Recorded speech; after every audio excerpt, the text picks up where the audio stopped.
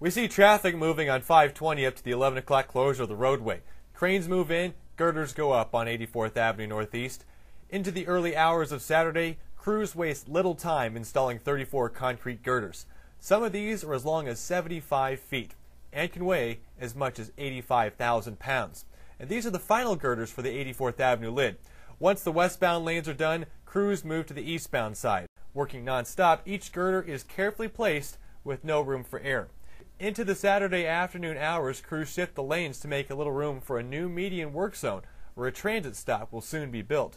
More trucks continue to haul in girders and cranes keep raising them into place despite the change in weather. Into the night, work is almost done for the road to open ahead of schedule on Sunday.